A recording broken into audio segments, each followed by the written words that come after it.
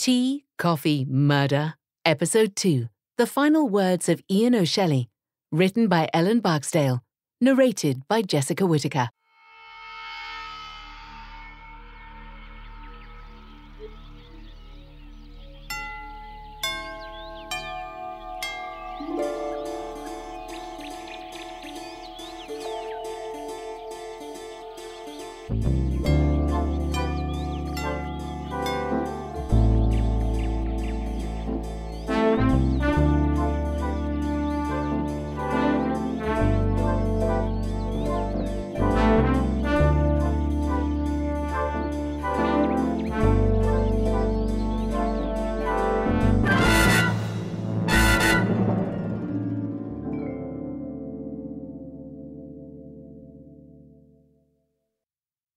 Prologue In which a bloody deed is arranged by telephone.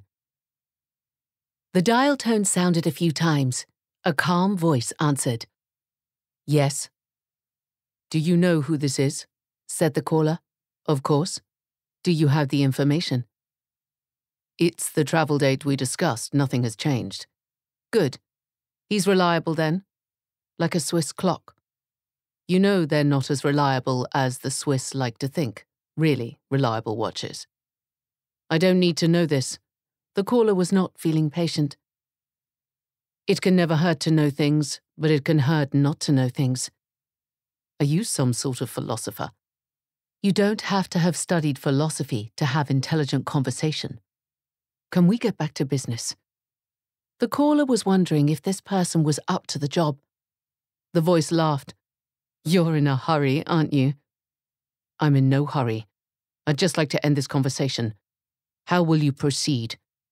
You'll see, came the reply, not seeming too upset by their counterpart's tone. I would like to know. The more you know, the greater the risk of you letting something slip. As you prefer. But can I count on you to get the job done? I have never left a target alive. Good. The money's on its way to you. It's already here. The call ended. The caller held the phone to their ear for another moment, then switched the device off and put it in the drawer. Soon the problem would be solved, and for good. Chapter 1 In which various encounters take place, some of which are momentous.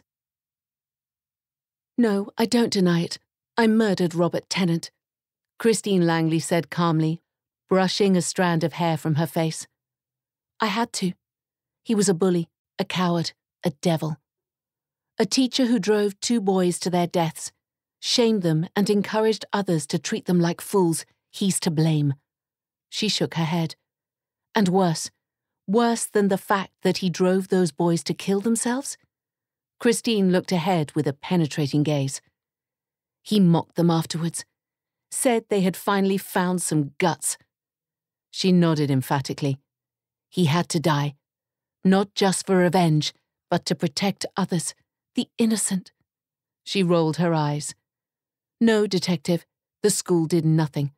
The school cared more about sporting triumphs than the lives of two clever, sensitive boys. Tennant's victories counted for more with the school administration than a handful of students falling by the wayside. Killing him was the only way. And Claire Tennant? Well, she tried to stop me, tried to protect her loving husband, huh? Christine shrugged her shoulders.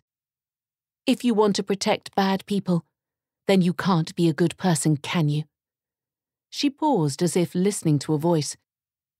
You almost prevented me from punishing Claire. You know how I feel about that, don't you? I'm sorry it has to end like this. Then she reached for the pistol lying on the table to her right and fired three shots. The lights went out, and thunderous applause erupted. Wow, that was impressive, Nathalie said to her cook Louise, who was standing with a torch by the switches that turned the various lights in the pub on and off.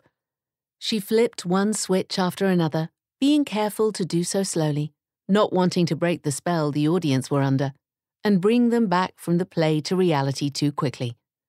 Very, said Louise. After ten minutes.